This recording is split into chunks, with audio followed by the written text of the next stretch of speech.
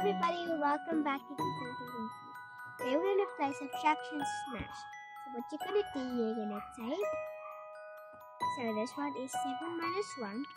You're gonna take 7 of this board, we have 20 here, and then smash 1.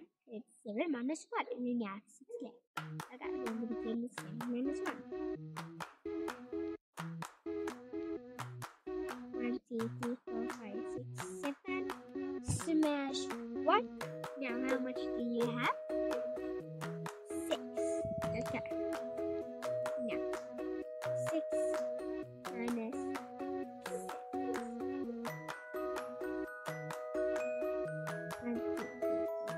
six.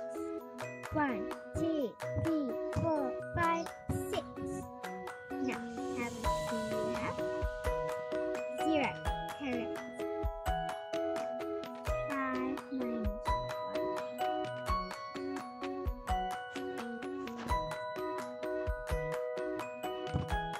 How much do you have?